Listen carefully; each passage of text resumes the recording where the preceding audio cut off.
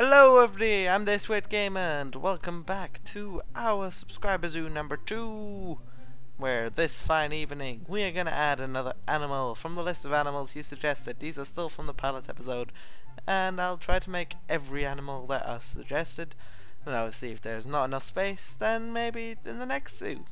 So, we are gonna get started and I picked this corner behind next to the okapis for our next animals and this next animal is, so for some reason, the picture's standing still. Um, anyway, this animal I depict is the Atlantic humpback dolphin.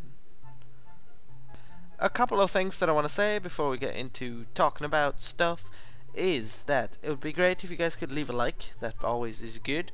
If you could comment asking for animals, giving names for animals, and all that kind of stuff, that would be awesome. I do add the names to the animals. I do try to show it in the videos, but sometimes I forget about it. But yes, and another thing is that from now on I decided what I kind of want to try to do is while I build the animal enclosure, you know how I ask for topics, you can still give me topics if you want to talk, want me to talk about something specific. But what I'm also going to do is give a few uh, facts about the animals that I'm making the enclosure for. So, for example, right now I'm making an enclosure for the Atlantic humpback dolphin, so I'm going to tell you things about that animal, and that way you guys can learn something. I can learn something because I don't know many things about most of these animals, but I will obviously have a look at them before I record this, and then I can tell you guys about it and share the knowledge. What do you guys think about that? I think it's a pretty cool idea, so tell me what you think. Oh, also, I made the video slightly slower some of you said uh, complained it was a bit too fast.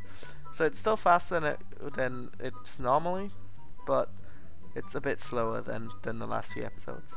So let's get talking about the Atlantic humpback dolphin. The Su Sousa teuszii, also known as Atlantic humpback dolphins, measure a maximum of 2 meters in length and weigh about 150 kilograms. They're classified as a vulnerable species, which is not quite endangered, but one step below it.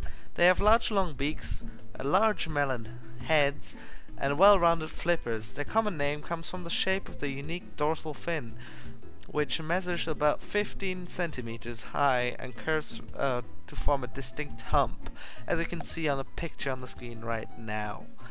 They are known to swim more slowly than other species of dolphins. They dive for periods for up to 3 minutes and are known to jump out of the water.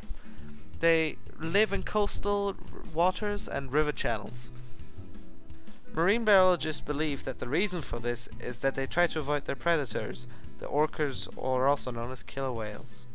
The Atlantic humpback dolphin is a somewhat solitary species which have been observed traveling and feeding alone. However, small groups of 3 to 7 and larger groups of 20 to 25 have also been reported. Gently, these groups consist of younger dolphins. They feed on schooling fish such as herrings, sea breams, sardines, and mullets. When feeding in groups, they hurt their prey close to land, making it harder for them to escape. That is about all that I wanted to tell you about the Atlantic humpback dolphin. Just a few interesting facts, hopefully for you guys interesting, so that way you guys can learn. I didn't know these things about them, and probably you didn't either, and now hopefully you do. Also, what what do you guys think about this format? How how do you like me telling you a bit about the animal? Me having to research about the animal first, anyway. I mean, some of these things are also on the Zoo Tycoon game itself. I didn't get any of these facts from there, so might be completely different. I, I got these facts from different websites, but stuck them together. Took the most interesting ones out, really, and yeah. So, in game, it's happening right now. You see, I made this rectangular tank with with one side being being flat to the open and then from pretty much three sides you've got this elevated path. So you can see the water from the top and you can look inside the glass and see underwater so that you get the best experience of the dolphins doing their jumping out the water like I told you they do and also seeing them dive because since they dive for about three minutes you might be able to see them dive for quite a while.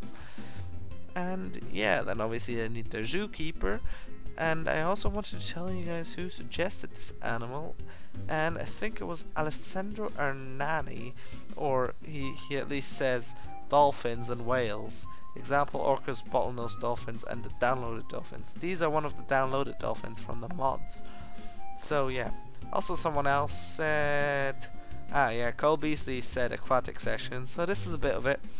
So yeah, that that was at least from the first episode, well from the pilot, episode zero. And there were maybe other suggestions from the other, but I haven't looked at those yet. Um, yeah, that was it. How did you guys like this video? How did you like the tips? Leave the comments, comments, comments. And remember, if you haven't yet, leave a like.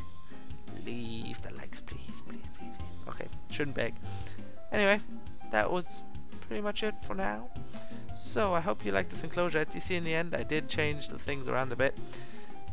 I think I kind of lost a tiny bit of recording. That's why it suddenly changed. Because I didn't see it change in this video. It seems like I've lost something.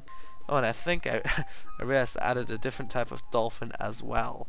Which I didn't talk about. Um, oh well yeah, I, I think I added a different type of dolphin. You guys can tell me which dolphin it was, and maybe I can tell you about that a bit otherwise. And yeah, that was it. Thanks for watching, and see you next video.